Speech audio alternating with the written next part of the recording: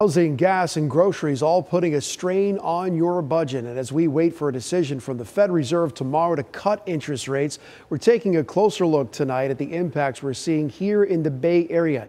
There is some good news. Gas is starting to get less expensive, and AAA is expecting gas prices to keep going down. But for renters, Renters, the news not so good. The Census Bureau shows the Tampa Bay area is above the national average for how much rent money comes out of your paycheck. ABC Action News reporter Jada Williams listened to people about the struggle this is causing.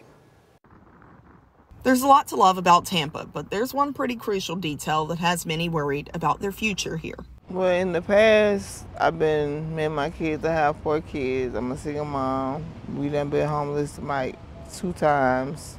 And then I finally got on Section 8, which my rent is not that much, but, you know, consider everything else other bills. I've lived in Tampa all my life, so seeing how where I first started renting and then coming now, it's definitely gotten a lot more. A study from the U.S. Census Bureau is shining a new light on the price of living in paradise. It found more than 21 million renter households spent more than the recommended 30% of their income on rent in 2023. That's about half of the renters nationwide. And roughly a quarter of Americans are paying more than half of their income on their rent alone.